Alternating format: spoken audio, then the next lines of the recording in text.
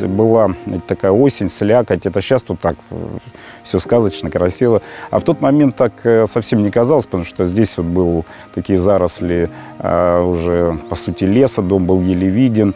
Герб, который сейчас у нас, вот мы буквально неделю назад восстановили, после столетнего здесь отсутствия, его тут не было, такой старый лишь железо наверху. Ну, то есть это был такая печальная картина, да, и влюбиться в печальную картину достаточно трудно, да. В руинированном состоянии была усадьба, не было кровли, трещины в, в стенах, Значит, нужно было противарийные все работы вести, а также э, подготовка всего проекта. Я постепенно, постепенно все больше и больше погружался и в историю этого места, в историю э, рода князей Куракина, кому принадлежала эта усадьба, а в архитектуру этого дома. Оказалось, что архитектором э, главного дома был знаменитый зодчий э, Джак Макваренги.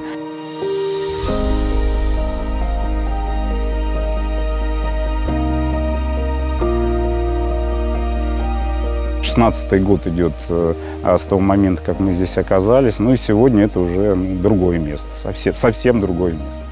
Действительно ушли большие деньги, потому что ну, всякий, кто связан со строительством, а, он понимает, вот все оказывается, на все понимают, что этот дом, парк, парковое обустройство. Это не дешевое удовольствие. Когда ты начинаешь восстанавливать э, усадьбу и начинаешь уже вот в контексте усадебного восстановления интересоваться вопросами истории времен правления Петра, Екатерины, Павла, Александра Первого, Николая, ты вообще по-другому смотришь на эту историю.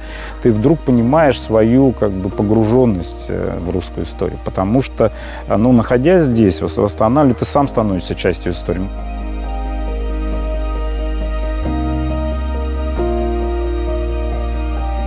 Усадьба живет, развивается. Это, кстати, одна из таких особенностей там усадьбы, усадебных проектов. Когда ты им занимаешься, он понимает, что он бесконечный, невозможно остановить, потому что все время масса там, мыслей, идей по ее совершенствованию и развитию. Мы не сразу как бы пришли к этой формуле, да, там некого совмещения такой частной жизни и публичной. А она действительно сейчас усадьба живет э, такой двойной жизнью. Это и наш дом семьи, но и усадьба всегда открыта для туристов и гостей. Ощущение помещика – это ощущение ответственности за все здесь происходящее, потому что ты отвечаешь за жизнь этой земли.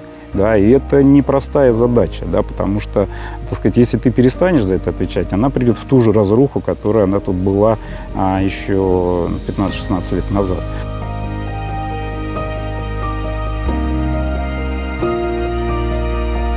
Это благодарное дело, то есть вот тот поток положительных, позитивных эмоций, которые мы с семьей получаем от этого места и от людей здесь приезжающих, они ну, э, этим это ничем не заменить. Вот я не знаю, что другое такое построенное могло бы приносить столько же положительных эмоций. Да, это требует отдачи, сил, времени, денег, а, но и оно приносит э, положительные эмоции.